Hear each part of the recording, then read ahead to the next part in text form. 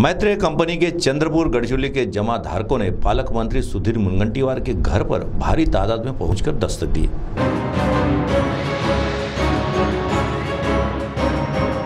राज्य में मैत्रेय कंपनी में बहुत सारे लोगों ने अपना पैसा जमा किया था। इसमें अधिकतर रोज़ाना मेहनत कर पैसा कमाने वाले लोग थे। इस कंपनी की शुरुआत तकरीबन 2008 से हुई थी और 2008 से कंपनी का व्यवहार ठीक ठाक चल रहा था और लोगों का विश्वास इस कंपनी पर बढ़ता रहा। और बहुत बड़ी संख्या में लोगों ने अपनी जमा पूंजी इस कंपनी में जमा कर दी। मगर अचानक 2015 में ये कंपनी बंद हो गई, जिससे जिन लोगों ने इस कंपनी में पैसा जमा किया, उन्हें वापस नहीं मिला। लोगों ने जो जानकारी दी उसके मुताबिक चंद्रपुर गढ़चिरौली ज़िले से तकरीबन 216 करोड़ के आसपास का इन्वेस्टमेंट हुआ है और उसमें लगभग पचहत्तर हज़ार लोगों ने अपनी कमाई का पैसा इन्वेस्ट किया है, जिसके चलते पिछले तीन सालों से लगातार जिन्होंने अपना पैसा इस कंपनी में जमा किया, उन्होंने सरकार से अपना पैसा वापस दिलाने के लिए गुहार लगाई और सरकार ने उन्हें उनका पैसा वापस लौटाने का आश्वासन भी दिया, ऐसा उन्होंने कहा। मगर अभी तक सरकार का आश्वासन पूरा नहीं हुआ। इन्हीं सब बातों को मद्देनजर शहर में बहुत बड़ी संख्या में मैत्रेय कंपनी में जिन्होंने अपना पैसा जमा किया, ऐसे लोग गिरनार चौक स्थित पालक मंत्री सुधीर मुनगंटीवार के घर पहुंचकर आंदोलन किया। अपनी जमा पूंजी राशि वापस दिलाने की मांग की और सरकार विरोधी नारे लगाए। इसमें मुख्यतः बड़ी संख्या में महिलाओं का समावेश था और ऐसी बहुत सी महिलाएँ उमस भरे वातावरण में बच्चों को गोद में लेकर थी। इस समय पुलिस का तगड़ा बंदोबस्त था तथा दंगा नियंत्रण पथक भी वहाँ मौजूद था। कहीं कोई बड़ी अनहोनी घटना न घटे, इसलिए पुलिस प्रशासन पूरी तरह मुस्तैद था। कुछ समय के लिए गिरनार चौक का यातायात बाधित हुआ, मगर प्रशासन की तत्परता से वह सुचारू रूप से शुरू हुआ। इस चंद्रपुर गढ़चिरौली के जमा धारकों ने अपनी पत्रकारों के समक्ष अपनी व्यथा सुनाई। चंद्रपूर जिल्ह्यामध्ये ब्रह्मपुरी हे तालुका आहे. आम्ही सर्व या मैत्रमध्ये इन्व्हेस्टमेंट केलेलं आहे.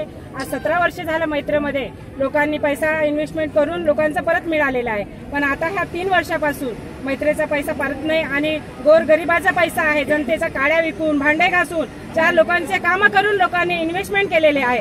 जेव्हा हे लोक मोठे होते तेव्हा लोकांकडे जाऊन घरोघरी लोकांकडून पैसा घेऊन इन्व्हेस्टमेंट करून तालुक्यामध्ये ऑफिस खोललेले होते. आता ऑफिस सुद्धा बंद झाले बाकीच्या तीन वर्षापासून आज लोकांवर किती समस्या होत आहे ते लोकांना शासनाला नाही माहीत. शासन इकडे लक्ष नाही देत गरीबाकडे जेव्हा आपल्याला त्या शासन खुर्ची पाहिजे होती तेव्हा शासन जवळ येते जनतेकडे येते. मध्ये आज आम्ही लाखो महिला मैत्रेमध्ये काम करत होतो. आज रो, काहीतरी बेरोजगारांना रोजगार मिळालेला होता.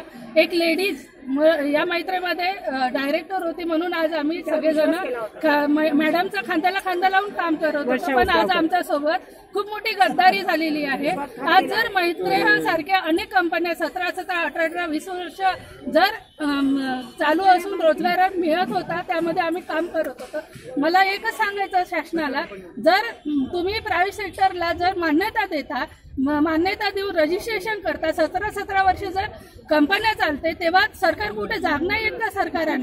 हम क्या गढ़चिरौली जिले से आखिरी सिरुंज तालुके से आ रहे हैं में हम रहे- से काम करते पूरे सिरुंजा तालुके से पूरा हमारा नहीं क्या बाबे मैत्री में पैसा डाले और तीन साल हो गए हम नाली खोदे और लोगों के सो भी पैसे लेके, कामगार लोगों के भी पैसे लेके है, हमारे हमको इतना त्रास हो रहा।